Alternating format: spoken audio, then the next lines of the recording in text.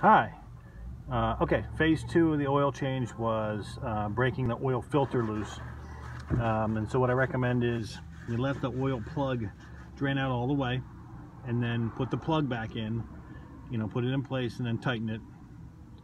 And then move your oil drip pan over because when you take out the oil filter, it's going to have oil in it too.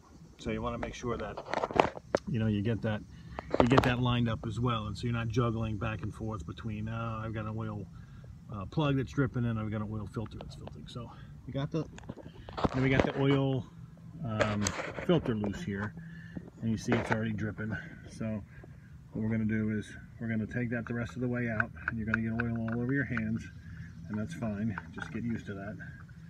And then your pan, your drip pan should have a spot essentially to drop your oil filter into.